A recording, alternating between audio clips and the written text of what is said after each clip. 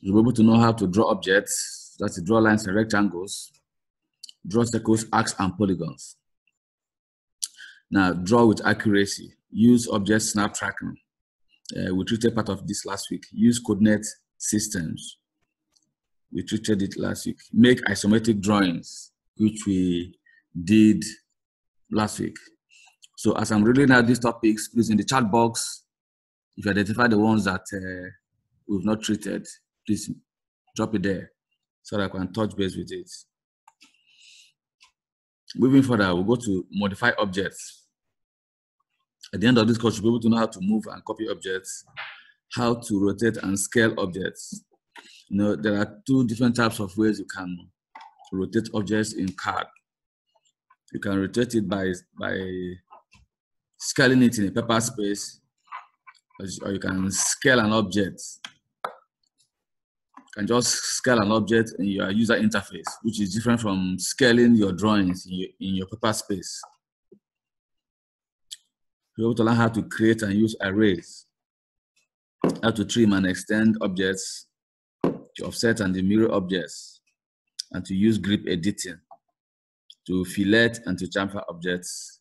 And then at the end of this course, we'll be able to learn how to use additional drawing techniques, being able to draw and edit polylines, being able to blend between objects with splines, and then apply hatches and gradients. And then you should be able to organize objects, change your object properties through your layers, alter layer assignment for objects, then control our layer visibility, and then assign properties by object or layer, and also be able to manage our layer properties. So able to, at the end of this course, you should be able to know how to reuse existing content how to work with our blocks, how to manage block attributes, and how to reference external drawings and images. Then you should be able to know how to uh, annotate our drawings. We to know how to add and modify text. So we've treated that, how to use our dimensions, we've done that. And uh, add and modify multi-leaders. Then create, assign annotative styles, and then use tables. And then after that, we're able to go to our layout and printing. We're able to create our layout, use our viewports and set printing and plotting options. Please, once uh, we are logged out of Zoom, I'll log back in so that one of us will continue with the class. So once he logs you out, try logging back in again, please.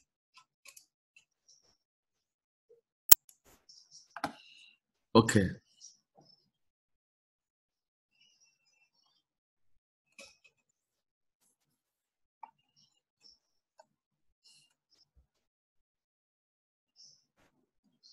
So let us uh,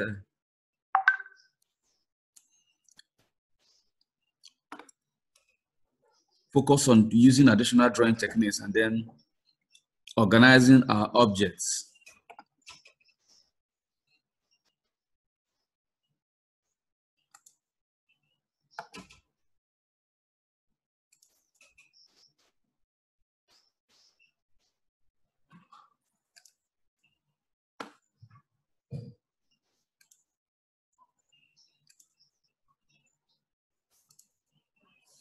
Okay. Remember that we were taught that rectangles, rectangles like this,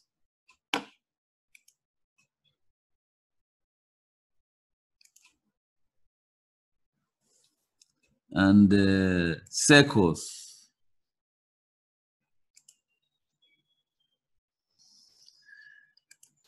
they're all called polylines and they are close polylines.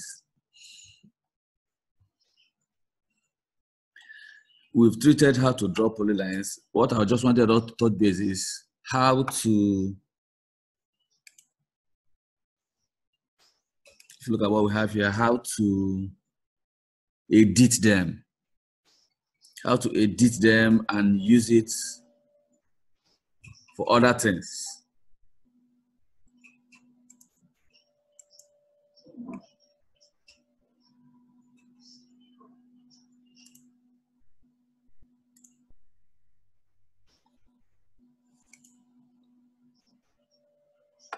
Let us go ahead and and draw a polyline. Just a simple line like this. Our auto is switched on, so I'll switch it switch it off.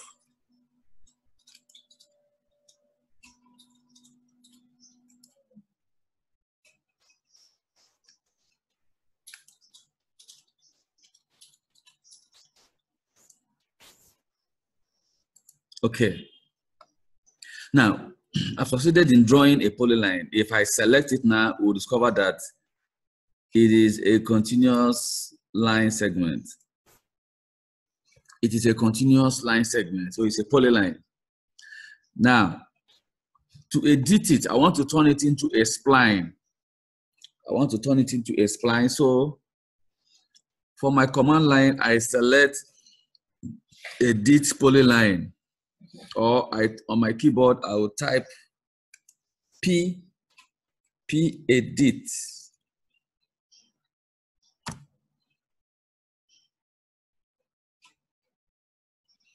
and it's asking me to select the polyline I want to edit. So I'll go ahead and select this uh, polyline. It brings out a drop down menu asking me what exactly do you want to do with this your polyline. Now, if I want to, if I want to increase the width of this my polyline, I'll, I'll select dub, I'll select width. If I don't want to select width on from this option, I'll type W on my keyboard. Okay, let's attempt to do it, and then we'll, we'll increase the, the line weight and see what we will get. It's asking me now to specify new width for all line segments. Let me just say 10.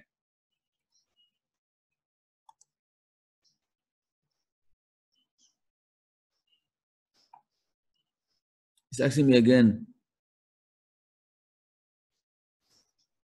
I will just enter. Let's look closely to see what we have created.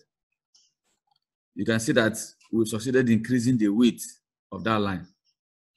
But let's undo this and do something else. Okay. Now, type in that p edit again. I select the line. This drop down menu gives me an option to decide what I want to do. I want to turn this in, into a spline. So I select spline. Entered my keyboard. That same polyline that we just drew now has been converted to a spline.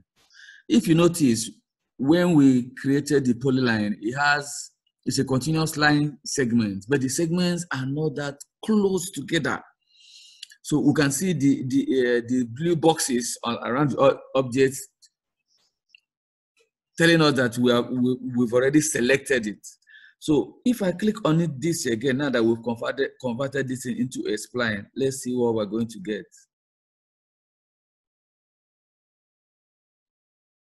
If you look closely, you see that the original profile of that polyline that we drew, we, we are still seeing them in, in an outline. But then that same polyline has been transformed into a spline now. All this is dependent on the kind of thing that you're working on on your project. If you have, or you're working on a design that has an aerodynamic shape, these are the sorts of command, the kind of command that you deploy in terms of being using it, uh, using it to create the forms that you want to create in your work.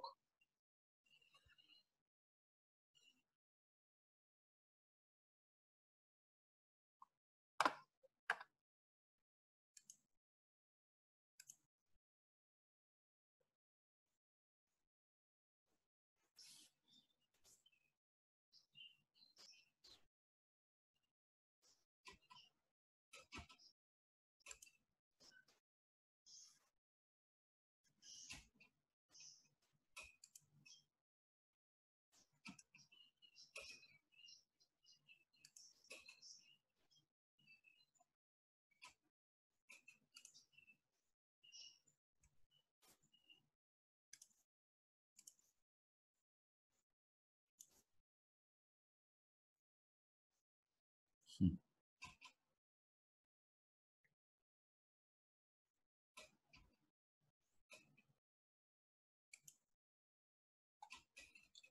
Okay.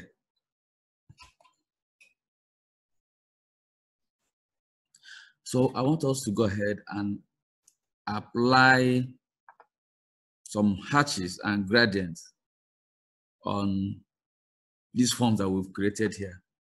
Can even add more.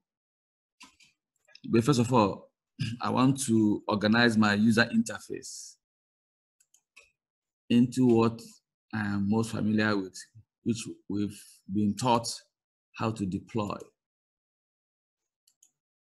So from here, I select this, I say show menu bar. It shows my menu bar. From my menu bar, I can start configuring, can go to tools, can go to toolbars, go to AutoCAD, and I go to draw. It drops it there for me. If I right click on that draw, I will select modify.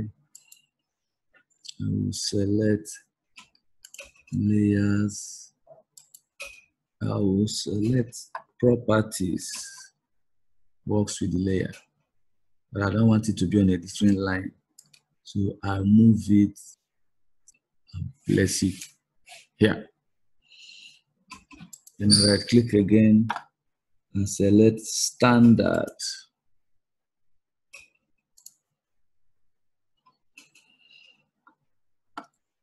So I'll come to this place, I'll right click here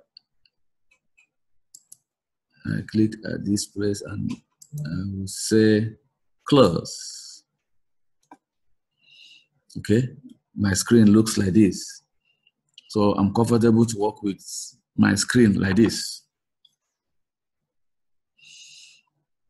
So I'll check my layers, I look for layers that are, I'll select hash. I make the hash layer the current layer and I have spaces. Let me go, let's go to the, the a, a proper building so that anything we do there, it, it becomes natural to you to understand that this is how these things are supposed to be done. Please, once Zoom logs us out, I will log back in. So when, once I do that, join me back in, please.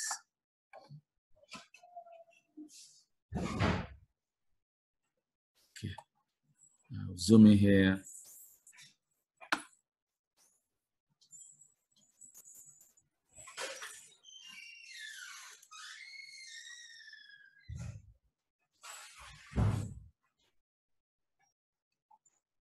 Hmm.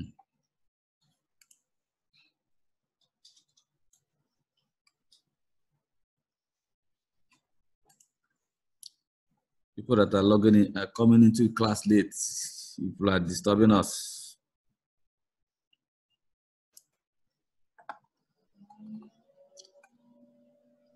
Let's look at this here.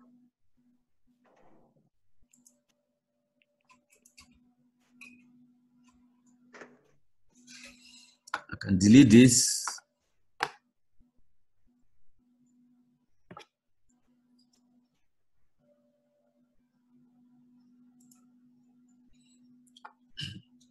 I'm sure you observed what I did here.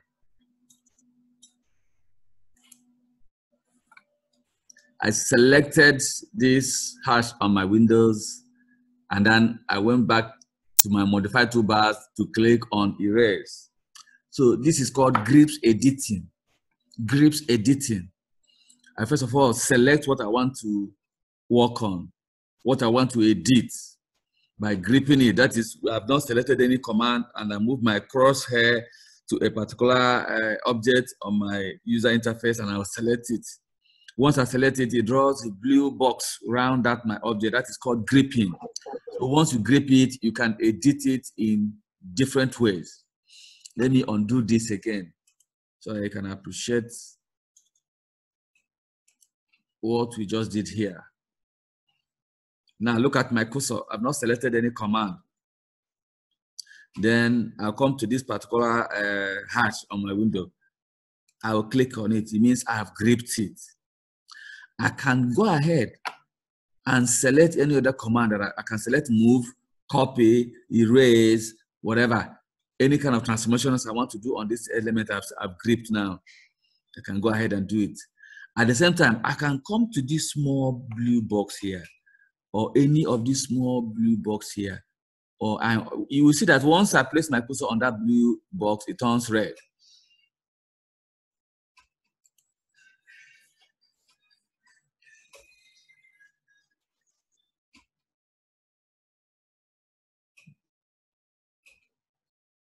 Wow. Okay. Once it's gripped, can click on it. Then you can right click.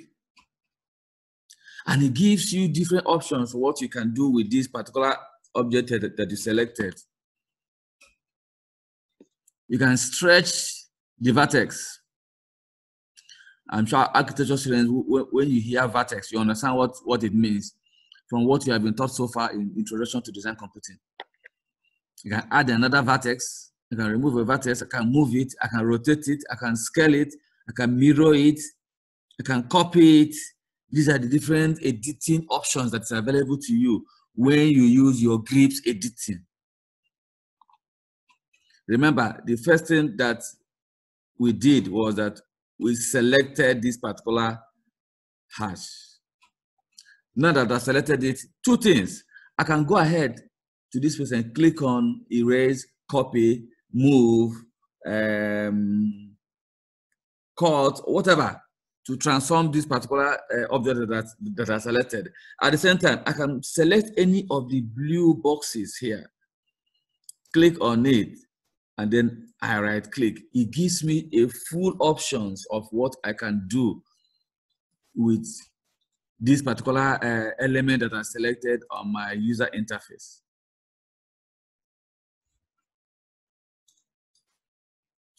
That is using grips editing in your work.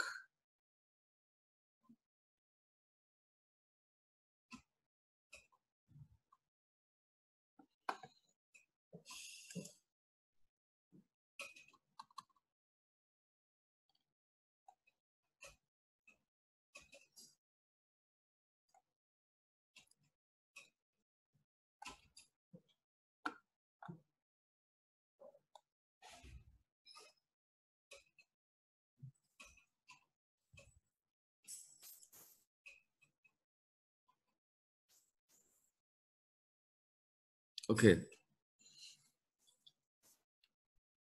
I want to use hash and I want to use gradient inside this um, rectangle and circle that we are looking at here. This rectangle and circle, it could be your window, it could be your door, it could be, I mean, a concrete member you want to hash, it could be an, an elevation you want to render, whatever it is. But first of all, you must have a defined boundary. You must have a defined boundary. It means it must be closed. It must be closed. Anytime you want to apply any of those functions on an object and that object is open somewhere, it will give you a, an error uh, telling you that your valid hash boundary was not found.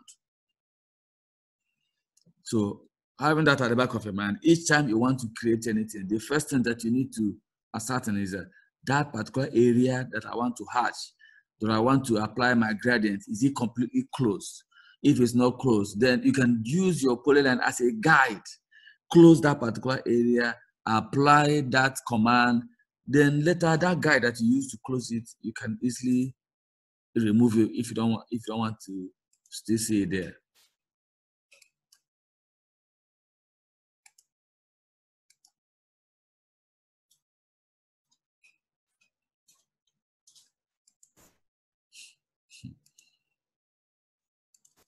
Okay. Okay, so to hatch this, I'll go here and I'll select hash. Once I select hash, you bring out this dialog box.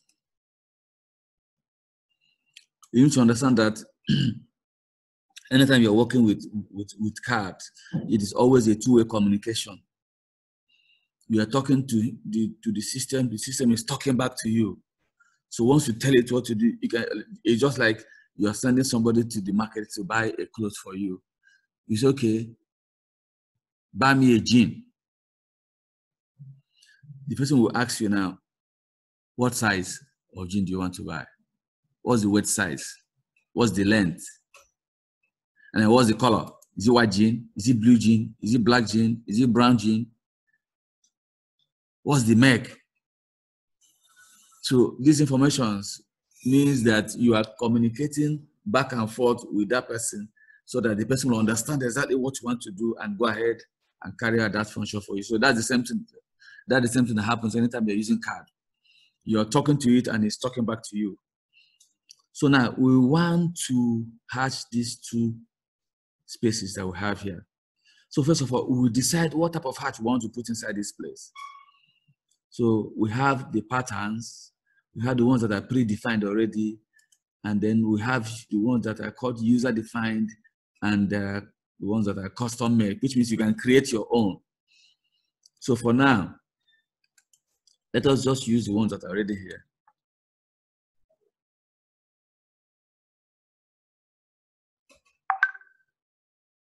Let's try. And as you you you select it, it will give you a preview of what it looks like on your screen. And then it will ask you to scale it and whether you want it to be at an angle. So for now, let's say that our scale for what we want to draw is 50. We don't want to put it at an angle now. We just select pick points.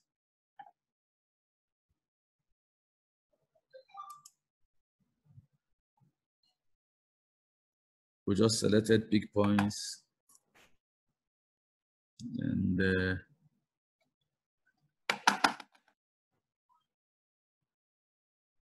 once the once Zoom logs us as please log yourself back in. Log back in.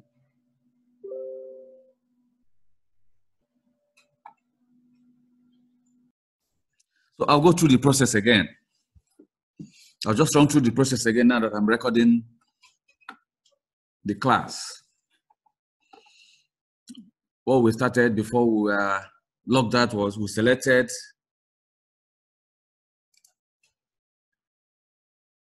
the hatch command and we selected this particular hatch pattern ANSI37 and we set the scale at 50. We didn't change the angle, just selected add points. I want to hash inside of this place and I want to hash inside of this place.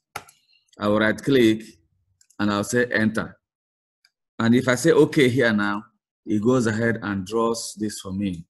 And what we did then was that we, we selected it without selecting any command, which means we have gripped it. And this particular thing we, we, we did now, we can place our cursor on top of it, right click, it gives us options of what we can do with it to edit this particular um, hatch pattern. Now I will exit from here. At the same time, after selecting it like this, I can come to this modify toolbars and select erase. Once I click on erase, it takes it out completely from here. So I go, I go back to that same command again. Hatch and uh, instead of select for my hatch dialog uh, drop down menu, instead of selecting add pick point, I will say add selected objects. Now, for me to use add selected object, it means I have used a polyline to define that object, which means I have a closed object, an object that is a closed polyline that I want to hatch the inside. Notice my rectangle is a closed polyline, so I can do that for this rectangle and also for this circle, I can do that. Now I'll enter. I can, I can preview or I can go ahead and say, okay, it does the same thing for us. Now, you select it again, we've gripped it, we can come here and click on erase and it takes it out for us. Now, I'll go ahead and select the same uh, hatch command and if you carry out a task by using Hatch, By the time you click on the command again, it brings out the last one you did as the default. It brings it out as the default, which means if you want, you can continue with that, or if you don't want that, you can go ahead and edit it. So for now, what I want to edit is that this hash pattern that we created, I want it, okay, let's look at what we had before so that we can know the difference between the two of them. Let me just do it on this one alone. Look at what we have. Look at it closely. This is the default hatch pattern as it is in CAD. So you can see that the hatch pattern, look at it again. The hatch pattern is at diagonal. They are diagonal. The diagonal, if you look at it carefully, you discover that they are at 45 degrees. So if I give 45 degrees as the angle, it means that it, it will turn this thing to face at 90 degrees. So I'll select this. Then on this angle and scale, to set my parameters for this mahat, uh, in the angle, I will set 45 degrees. And I would come here, I'll select this one. Enter. Notice that the hatch pattern, the lines are at right angles now, at 90 degrees. Initially, it was at 45 degrees. So we turned it by 45 degrees again, it becomes 90 degrees. And that's why we are seeing it like this. So at any point in time, you create a hash pattern, you can go ahead and edit it.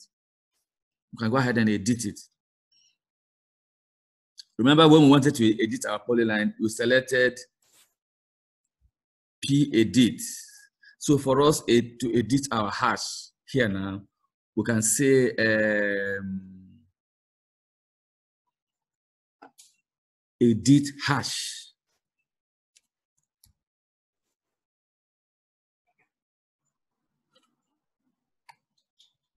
And type edit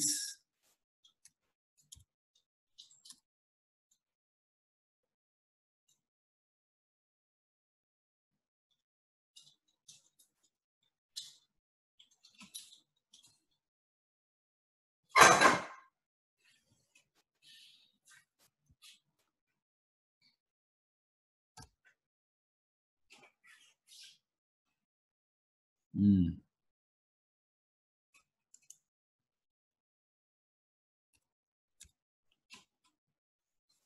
It's hash edit, hash edit instead of edit hash, hash edit. So I've selected the command I want to edit the hash. It's asking me to select the hash you want to edit now. So I'll select this hash, this one I want to edit. It brings out the dialog box again. What exactly do you want to do? Okay, this my angle that is at 30 degrees, 45 degrees. I want to change it to 30 degrees. Let me even look at and see what it looks like. I'll preview it. This is what it looks like. If I don't want it again, I can go ahead and select it and select uh, hash edit and then continue. But I want to also show us one simple trick now. Each time you conclude certain operations, maybe five, you've done five steps, five other operations, and you want to go back to that particular last one that you did, you can cycle through the last command that you did by pressing your the arrow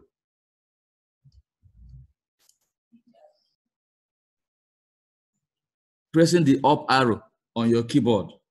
As you keep pressing the up arrow on your keyboard, you keep going back to the most recent command that you, are, you have carried out on this system. You can see hash edit. We'll continue, we'll see hash. We'll continue, we'll see that we've done erase. We'll consider we've done undo. We've done uh, gone to layer. We've gone to uh, gone to a ribbon to close it. We've done p-edit we've done spline. So you can continue to cycle on your last commands with your up arrow on your keyboard to go back to the most recent command that you just carried out on your work. With that, it can help you to move fast to accomplish uh, things easily. So I'll go again. I want to erase this now. So the next command I want us to touch base here is gradients. Gradients. Your gradient can be a two color gradient.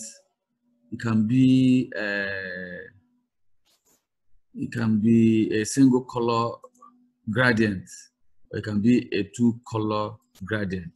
So first of all, let's do a single color gradient. Let's do a single color gradient here. So each of these patterns, you can choose the exact one that you want. Okay, I've selected this first one. I'll select add pick points. I'll select inside this place. Let me preview what I just did.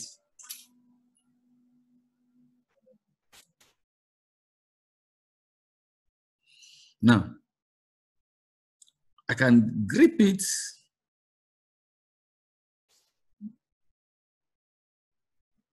click here, all right, click.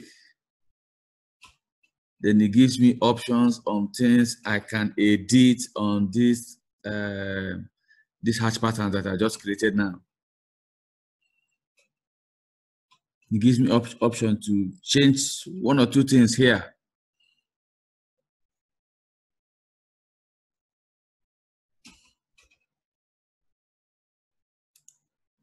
So I just leave it now because I don't want to do anything to it.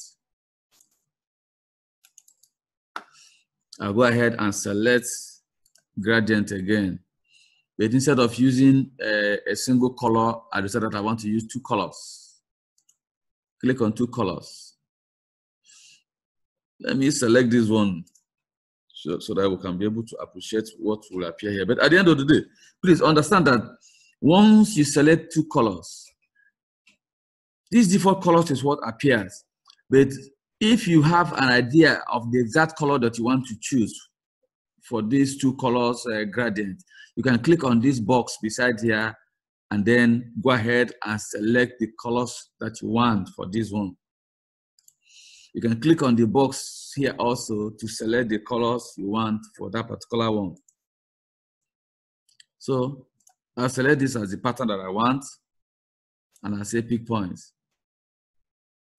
I click here let's preview the particular one that we, we created.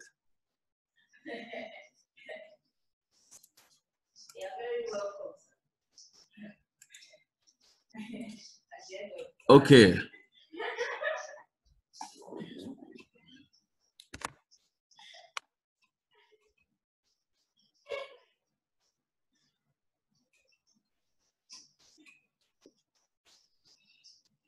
Okay. That's about being able to use your hatch and your gradient command. These commands can be used for different purposes in your work. Can be used to hatch your your your windows. Can be used to create water bodies. For example, I'll go ahead and draw some things here now on our screen.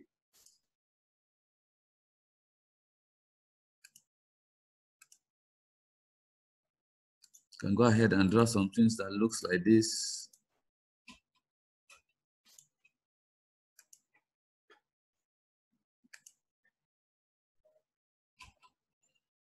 And I'll type C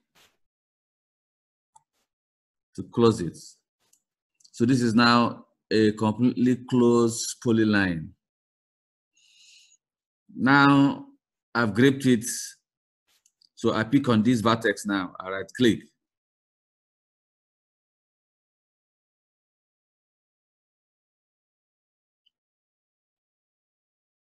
I decide what I want to do with it. If the command, okay, the commands are not here. The ones that I want to use are not here. So this is a polyline. So I type I will type P edit. My keyboard. I select this now. I want to turn it into a spline.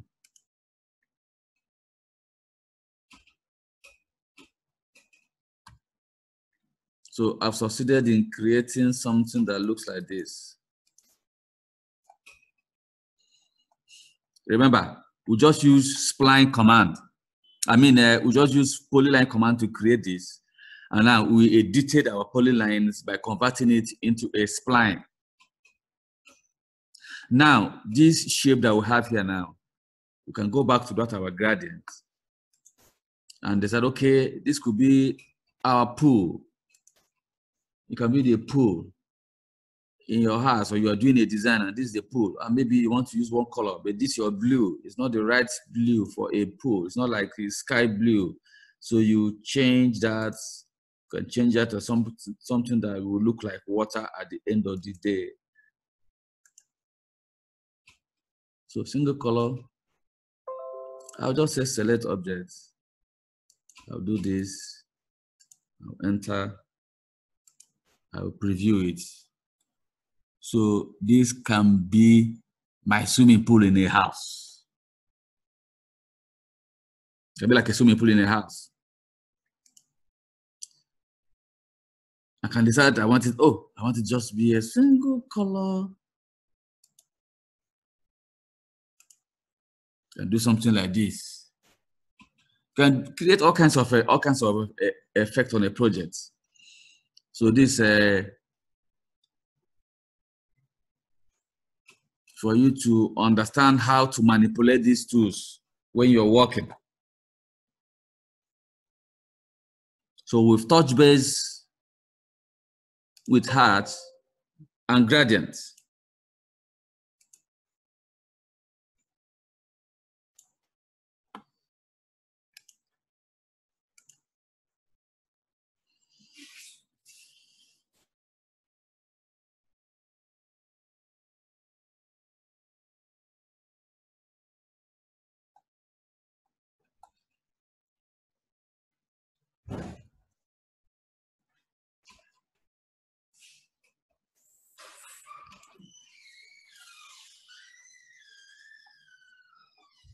Let us run through a simple process of changing the properties of an object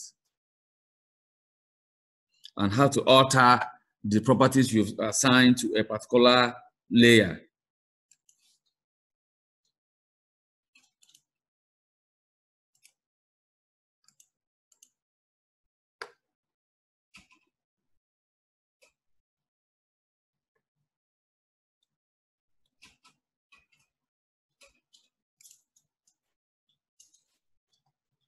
Okay. Okay.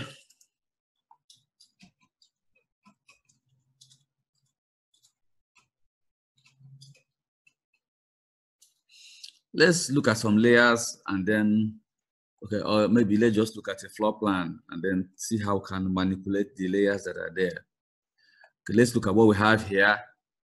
For example, let's look at these these chairs in these uh, in this hall. This chair is made of a layer called furnitures. Let's, let's assume that that's the only uh, only thing called furnitures here, but I'm sure that there might be other things that are called furnitures. Okay, so from my from my layers drop down menu, I can select furniture, which means the furniture is the current layer now. Now, if I come to the layer properties uh, dialog box here now, I can go ahead and look for that particular element that I called furniture, the current layer, that is it. Assuming I want to change the, the color, I will select here, assuming I want it to be uh, let me say I want it to be uh, something like purple in color. I can just select that color and say, okay, if you look at my drawing, you see that that particular layer, the properties has changed. The properties has changed. Can select it again. It's okay. I want it to look more brownish rather than this purple. I didn't change the line weight. I didn't change the line type, but I've somehow, somehow changed part of the properties of this particular element on my work. So I'll go back and leave it to what it was originally.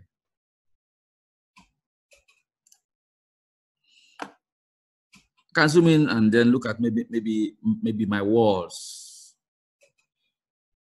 Maybe my walls now. Come on.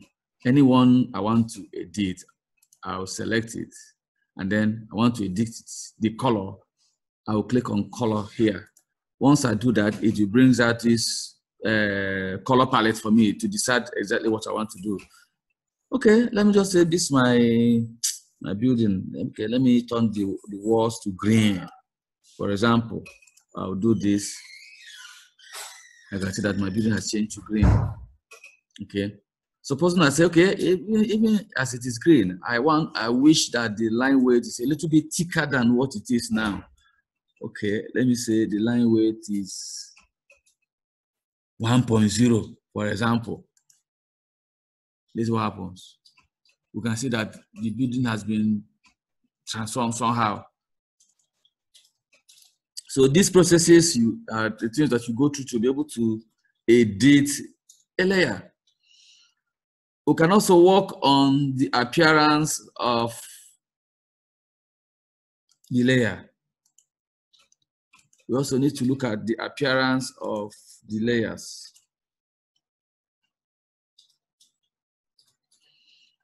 We can be working as okay, this is my my my my furnitures. I don't want to see them in my project. The first thing I need to do is that I'll, I'll make sure that it, that particular one is not the current layer. So I've changed the current layer from furnitures to walls. So I can go ahead to where that's my furniture layer is here. I can say freeze. It had disappeared from my drawings. I'll bring it back. I can say lock. It means that you cannot erase it, you cannot move it, you cannot edit it. It's locked in position at that particular place. Then I can say put it off. Put it off looks similar to to um, to freeze, but the difference between the two is that when you freeze, you've frozen all the things about that particular layer that is no longer being referenced by the by the uh, by the processor in your system. But when it's just switched off, it means that the processor is still assessing whatever properties that particular element has and is acting on it, is affecting your system, is calculating it. So at each point in time, you should know the exact one that will suit the operations you want to carry out. Okay. So our time is also running out again. So we'll stop here for today. Please, I would like to field your questions now.